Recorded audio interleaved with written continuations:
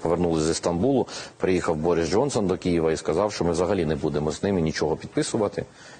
І давайте будемо просто воювати.